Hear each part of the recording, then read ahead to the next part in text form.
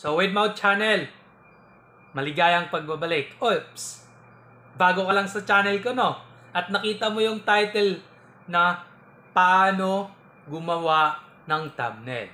So, magstay ka na sa bahay ko, guys. Bigyan mo muna ako ng like, subscribe, and click mo yung notification bell para lagi kang updated sa mga bakong video na ilalabas. Yes, tama po yung nahanap nyo at nakita mo rin sa title ko kung paano gumawa ng thumbnail. Okay? Small YouTubers ka rin ba na tulad ko? Okay? Hindi mo alam kung paano gumawa ng thumbnail. So, step by step natin yung gagawin guys. So, stipot lang po tayo. Umpisahan na po natin. Isa, dalawa, tatlo, go!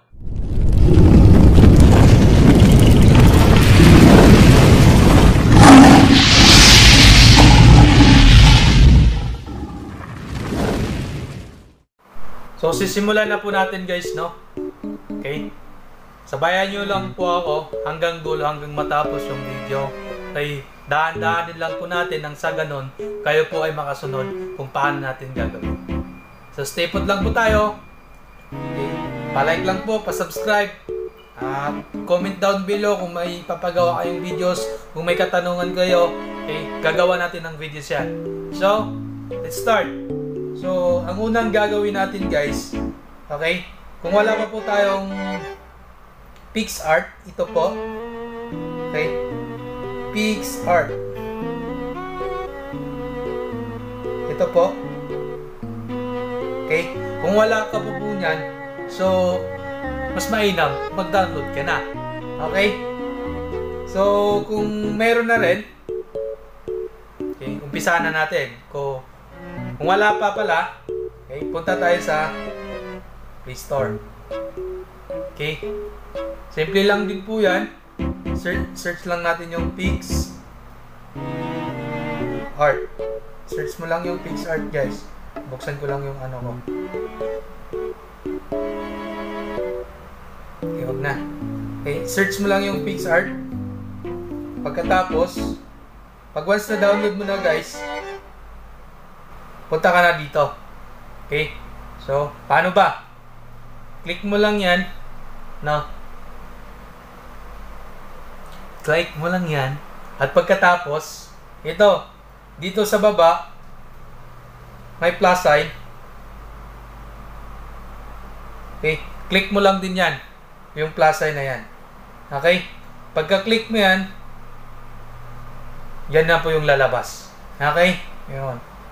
So, dito tayo sa ano, background. Ikaw na bahala guys kung ano yung background na ilalagay mo. Sa akin kasi sa mga videos ko, sa mga photos ko, commonly ginagawa, ginagamit kong background is kulay blue. Okay, kaya na po yun, kaya po yun bahala gumawa kung ano yung gusto nyong uh, background. So, example guys, ito, kulay blue. Click ko lang yan. As wow, lalabas.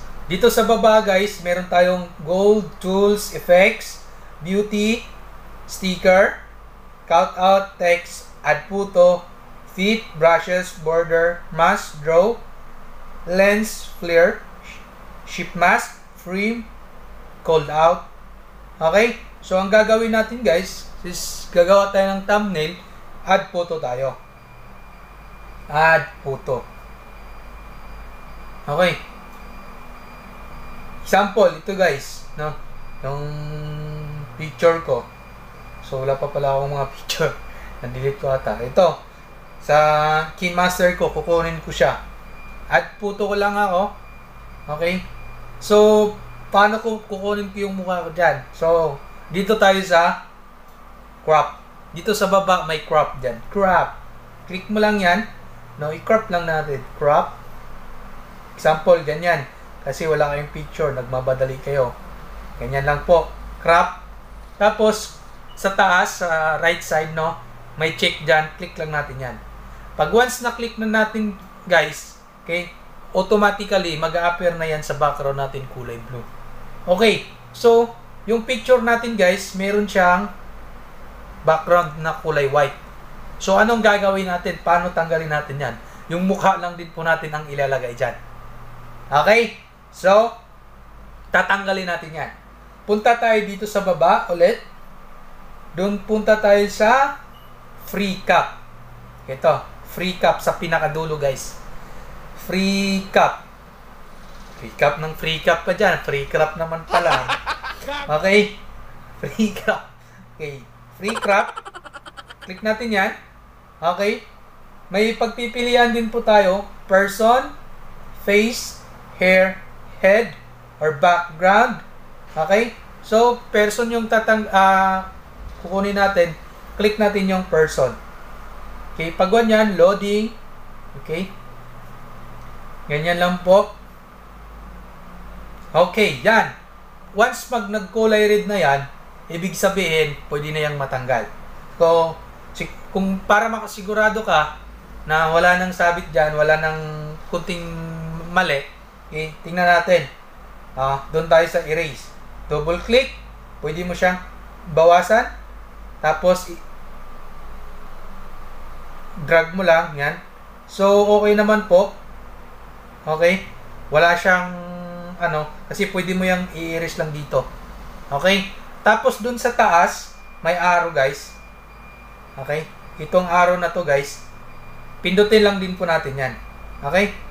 Pag once pinindot natin yan guys, pag once pinindot natin yan, okay, click mo yan yung save. Save. See? Yun. Natanggal na natin. So, ang next step natin gagawin guys, kung gusto mo siyang lagyan ng shadow, kulay black, no? Lag, ganyan, okay lang po. Ganyan. Okay? shadow. Ito naman po sa ano, border. Mostly ginagamit natin sa mga YouTube videos, no? Border. Lagyan mo kung anong kulay. Ganyan. A, B, C, D. Okay? Ikaw na po mabahala kung anong gustong kulay mo ilagay. So, text. Kung may additional kang text, ilagay dito guys. Na example. Okay. Winmow channel. Yan. Same, click mo lang yung check sa taas, automatically mag-appear. Ikaw lang din mamili kung anong gustong text mo. Ganyan ba? Tapos, dito may color, kung anong color gusto mo. White, stroke, or black, no? Ganyan mo. Or i-drag mo lang siya. Okay, double click. Yan, ganyan. Oh, so, basic lang po guys, no? Kayo, sinimplihan ko lang po para mas mapadali po natin. So, paano natin i-save? Next step po natin. So, same lang din po. Pag once okay na yung nagawa mo, napagandaan mo na, pumugi ka na. So, same lang din po yung way. Click natin yung check sa taas. Pag na-check mo na yon, may arrow sa taas na. Pakita ko sa inyo. Yung kulay white. Na? Click mo lang yan. Ito. Bilugan ko na lang guys ha. Ito. Yan. Yan, kulay white na yan. Okay, pag once okay na yan, click mo lang yan. Tapos dadalin ka, okay, click mo lang yung save sa baba. Save, save. Ito. Yan, save. Click mo lang yung save, tapos save picture. Okay? Click mo yung gallery, tapos done. So, okay na yun guys. So, next step natin, pag once mag-upload tayo ng video sa YouTube at gusto nating palitan, make sure meron tayong YT Studio. Okay, YT Studio, i-download mo rin yan. So, pag once nandito na kayo sa YouTube Studio nyo guys, no? Okay, ito po yun siya. Eh, kailangan meron din kayo dito kung meron kung small YouTubers kayo, no? So, paano ko siya inedit? So, ako, ang ginagawa ko, guys, pag once in-upload ko na yung video ko sa YouTube, pupunta na agad ako sa YouTube Studio. Pag once sa YouTube Studio, ito po yung tsura, guys, no? YouTube Studio. Click ko lang yan. Tapos, ditong tatlong dot sa gilid, okay? Click ko lang din yan. Dito makikita natin yung videos natin. Okay?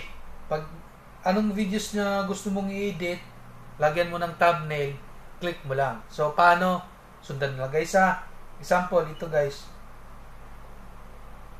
Ito. So, sa taas guys, no? Sa taas, meron itong parang lapis. Ito po. Ito siya. So, i-click lang po natin yan guys, ha? Pag, pag clinic natin yan, okay, meron din isa dito sa gilid. Okay? Same lang din yung process guys. I-click lang po natin yan. Okay? Brush ko lang ha. Yan. I-click din din po natin yan. Pag clinic po natin yan guys, pag clinic po natin yan, so, so pwede natin siyang papalitan, no? Pwede nating mapalitan. Dito, change. Kung anong gusto mo. Parang profile mo ba? Okay, ikaw na bahala doon. Tapos, select, tas save. Okay, hopefully, uh, to this video guys, may natutunan kayo sa akin, no? Comment down lang yung gusto nyong ipaturo or gusto nyong uh, ipagawa na video sa, sa comment section din po. So, maraming salamat po sa pagtapos ng video na to. Uh, good vibes lang po tayo, no? Tuloy-tuloy lang po tayo.